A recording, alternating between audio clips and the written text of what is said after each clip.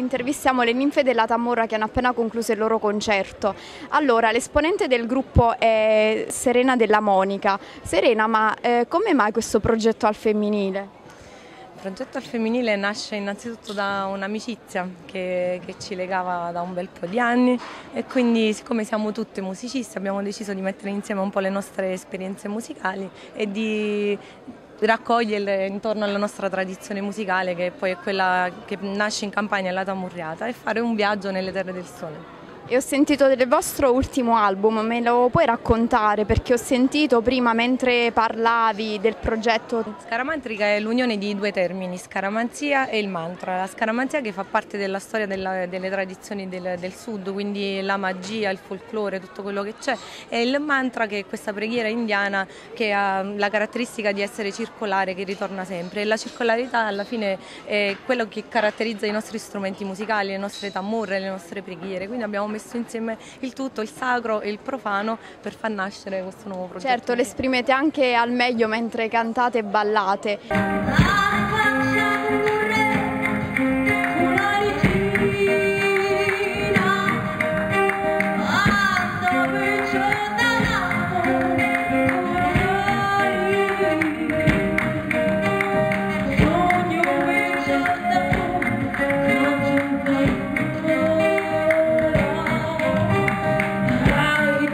Avete progetti per il futuro prossimo?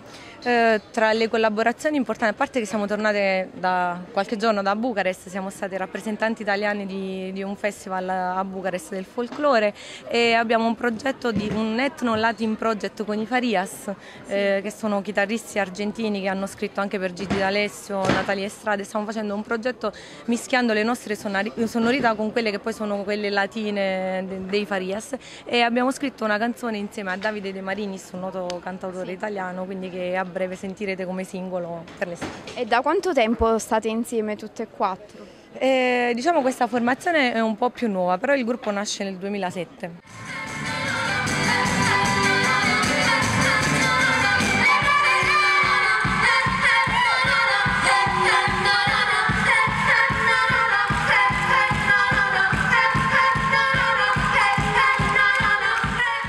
Diciamo che tu sei il portavoce del gruppo. Sì, il gruppo è, stato, è mio, diciamo, nasce a Vietre sul Mare, però poi oltre alla parte femminile c'è da dire che c'è una parte maschile eh, che insomma ci supporta e, e Gianmarco Volpe ci sopportano, Amleto Olivia e Pasquale Benincasa che sono rispettivamente il violinista, il chitarrista e il percussionista del gruppo. E ce le può presentare le altre? Certo, allora Carlotta Davino, Ciao. Mariana Somma, Sara Schiava.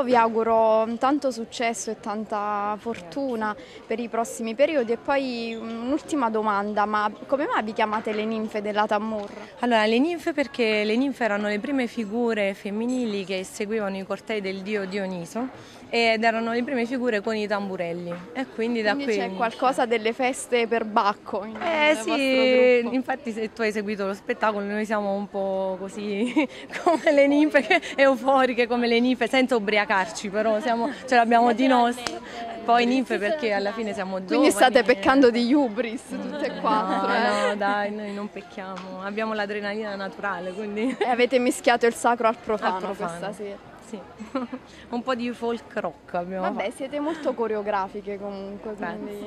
Se volete seguirci www.ninfedelatamurra.it ci sono tutti gli appuntamenti, le foto, i video, tutta la nostra storia, c'è tutto lì. E voi ragazze avete qualcosa da dire?